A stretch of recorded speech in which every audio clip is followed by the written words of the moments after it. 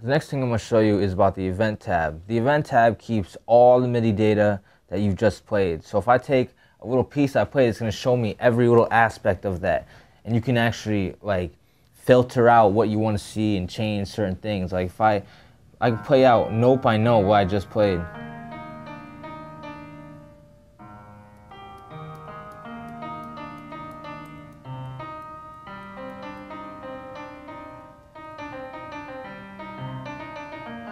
I could also see things like program change or pitch bend, poly pressure, things you could take off and put back on.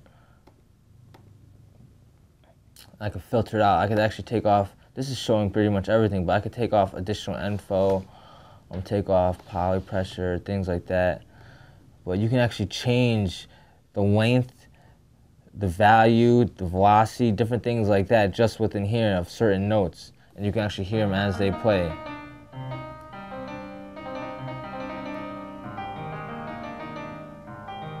You could also quantize here. You could draw in certain things, and you can view it as different in a couple of different ways.